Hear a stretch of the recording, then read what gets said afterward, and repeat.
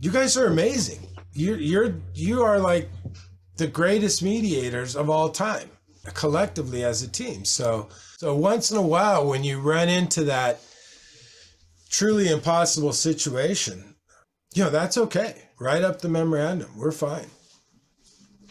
And I know you've done I know you've done everything you could, but let's talk about why sometimes we don't get agreements. One of the things I want to always emphasize is there's nothing else like mediation. A lot of people think that mediation and arbitration are synonymous. Arbitration is the antithesis of mediation. I know you know this, but I want to help you to articulate that. So I would say mediation is the antithesis of arbitration. Arbitration is private litigation. Mediation is the only form of assisted dispute engagement for which volition is a defining quality.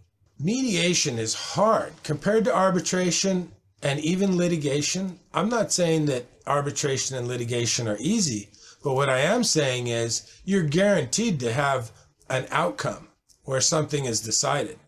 Whereas in mediation, as you know, we have to help people create their own agreements. So mediators have to be incredibly skilled and practiced.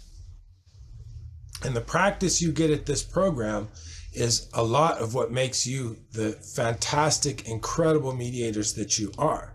So, examples of things that are happening that are just briefly that are not mediation, that are often called mediation a social worker's family meeting. Okay, so when the social workers bring parents together and they say we're going to have a meeting and the parents can't agree, the social worker just imposes the outcome on them and just tells the judge, okay, this is, it's going to be week on, week off, or whatever it's going to be. That's arbitration. But it's referred to as mediation as a matter of course. And so what that does is it damages mediation. Buddy, you're snoring.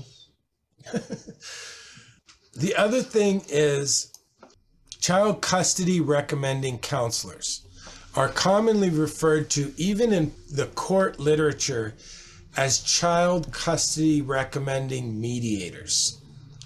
And what they do is they evaluate the families and then write a report to the court. This is what the, the parenting plan should be. The problem with this is people think that that's mediation. And so it damages the reputation of what I believe is the most important piece of the puzzle for a better form of social peace and justice. If we can help people learn to mediate, we can help people learn to negotiate better, more successfully, less harmfully. I was watching uh, one of the football games recently, and uh, number four went to charge, and he was going to get in a fight with the other team, and number 11 grabs him and holds him back. And then uh, on the next play, so, so that number 11 was acting as a mediator in a sense. And the next play, number 11 was going to go start a fight with the other team, and number four was holding him back. So the point being, we all need mediators sometimes because when our emotions are triggered, you know, we need somebody to be able to help us not harm ourselves and others. And so that's what our education platform is about. And if we damage the reputation of mediation by calling things that are arbitration mediation, then it hurts us. It hurts mediation. It hurts humanity.